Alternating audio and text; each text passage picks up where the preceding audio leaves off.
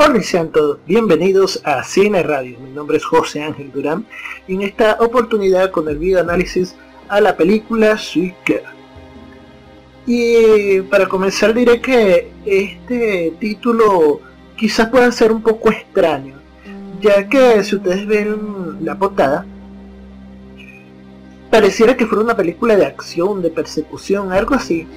Pero ese nombre, ¿por qué? Y luego cuando lees la sinopsis, te habla es de una venganza que tiene el protagonista contra una farmacéutica por la muerte de su esposa. O sea, son tres cosas como totalmente diferentes. Aún con eso, yo estaba muy intrigado y quería ver esta película porque yo soy de las personas que me gusta ver a los actores famosos ya por determinado papel otro tipo de producciones para ver cuál es su abanico de actuación, a ver si ellos pueden interpretar otro tipo de papeles. Y bueno, se lo diré aquí rápido. El protagonista Jason Momoa, que lo conocemos por hacer el personaje bastante rudo, sí, Aquaman, la versión ruda de los 90. Y como Drogo en Juego de Tronos, ¿no? Yo sé que él ha hecho otros papeles, pero esos son los más famosos de él. Y digamos que a él le cuesta, le él trata de interpretar papeles más dramáticos en esta película, pero le cuesta, le cuesta muchísimo. Creo que su rudeza no le permite ser como una persona demasiado cariñosa en sus palabras, en sus gestos. Eso creo que tiene más que ver con, la personalidad del actor más que su actuación, pues, y eso se refleja muchísimo. No estoy diciendo que lo hace mal, pero sí veo que le cuesta y que nosotros como espectadores le creamos ese papel. En cuanto a la muchacha, Isabela Méndez, si no me equivoco ese es su apellido, Méndez. Si no la reconocen, esta fue la chica que hizo la película de Dora la exploradora hace algunos añitos. Y antes de eso, ella estuvo, creo que su gran papel, su gran oportunidad fue en la saga de Transformers, que es un papel bastante pequeño, bastante insignificante aunque eso ya no es culpa de ella, sino de la película en sí. Y ahora la vemos en este papel que creo que es totalmente diferente a los otros dos. Y sí, me parece que ella es buena actriz, ella sí tiene un gran abanico o grandes oportunidades de representar un distinto tipo de papeles. Y sí, me gustaría verla o seguir viéndola que le den más oportunidades, porque si no llama mucho la atención y sigue haciendo este tipo de, películas, creo que pronto se va a quemar y no la van a llamar para más nada. Y ese es el siguiente punto que quiero hablar. Muchos dicen que la película es mala. Para mí no lo es. Tampoco es la obra de arte. Es una película B. Y muchos están diciendo que no, qué horror. Que una estrella como Jason Momoa después de estar en esa gran producción de Warner como Aquaman, ahora esté siendo este tipo de papel tan, tan mediocre, una producción tan mediocre, tan clase B, como están diciendo algunos. Y yo considero de que mm, creo que la película sí cumple su propósito, que es sencillamente entretener, no es la obra de arte, se supone Obviamente que esta película no va a ganar el premio ni nada por el estilo. Pero sí entretiene, me llamó mucho la atención los giros en la historia que voy a tratar de no contarlo para no crear spoilers, no crear muchos spoilers, porque saben que mis videos yo trato de ser lo más sincero posible, así que siempre se me sale uno que otro. Y bueno, por lo menos hizo que me llamara poderosamente la atención siguiendo con la idea, sí, la película técnicamente hablando quizás sea muy pobre. Y quizás las peleas no son tan impresionantes. La intriga tal vez sí está muy bien, pero en esas partes técnicas quizás sea muy pobre. pero tratan de justificarlo con la historia. Que repito, no voy a dar spoiler para que vean ustedes y también se sorprende, igual que yo, con ese giro que le dieron. Ah, que Jason Momoa no es una máquina imparable, le ganan en las peleas, que no sabe disparar un arma de fuego. Todo eso tiene una explicación. Y me parece bien. Yo, este tipo de películas que sé que no son una obra de arte, por lo menos le doy un punto positivo porque tratan de explicar esas fallas en una historia más o menos consciente.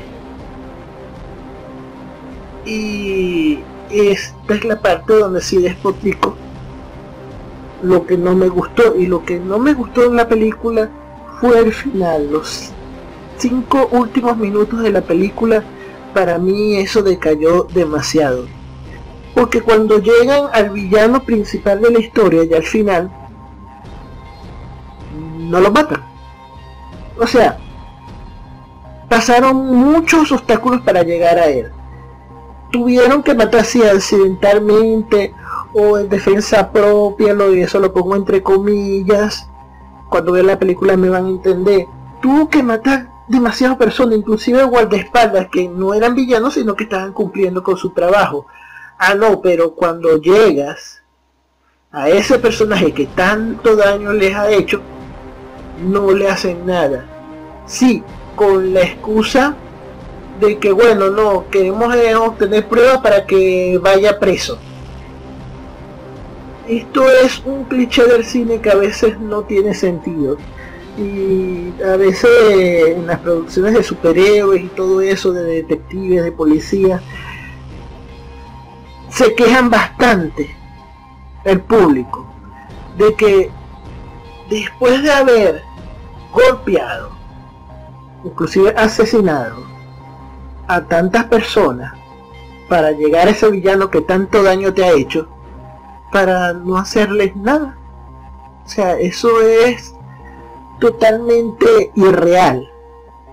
Entiendo que es como para que la película quede bien y los héroes queden como como una estandarte de moral bastante alto de que no buscan venganza sino justicia pero cuando vemos atrás y vemos el caos y la destrucción que hicieron no tiene sentido no por eso hay rechazos en este tipo de historias y al mismo tiempo y esto como le dije se explica muy bien en el guion de cómo a veces se organizan para hacer las cosas y a veces se improvisa demasiado.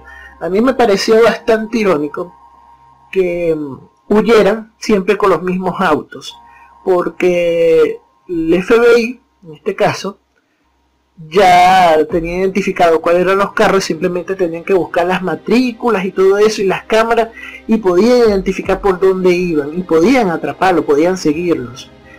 Y ok, eso me parece realista porque alguien que tenga sentido común debe saber esto y sabe que debe estar cambiando de vehículos para despistar. Pero no, no lo hicieron. Repito, eso se explica más adelante en, la historia misma de la película. Entonces sabemos que, bueno, no son unas mentes criminales, y no, no tienen conocimiento, no tienen esa malicia como quien dice, pero después vemos escenas, como le estoy diciendo al final, donde la chica ya estaba preparada con pasaporte, con dinero, para poder irse. Que por cierto, no dijeron para dónde se fue al final. Me pareció muy irreal. no sabe lo de los autos, cómo sabía que tenía que guardar pasaporte, que tenía que huir y todo eso. Se, supone que estaban improvisando. No sé, me, pareció muy malo. Para mí la película decayó al final. Iba muy bien, le estaba creyendo giros argumentales a pesar de las carencias de la historia que llamaron poderosamente mi atención, pero esos cinco minutos de verdad me, me echó a perder bastante la experiencia.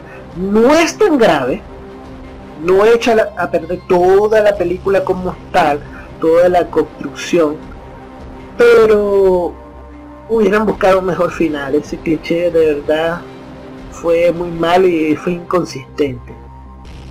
Sin embargo, sí recomiendo mucho esta película. Está en Netflix para los que quieran verla. Pero sí los adolescentes y este tipo de público joven puede verla. Si trae peleas, pero no es violencia extrema. Así que es, es recomendada como para a partir de los 10, 12 años en adelante. Es una buena película para pasar el rato, no es una obra de arte, obviamente, pero sí es bastante entretenida. Y bueno, para finalizar, les pediré que le den like al video, se suscriban al canal y le den a la campanita para que YouTube recomiende más mis videos en la plataforma. Y sin más, me despido y hasta pronto.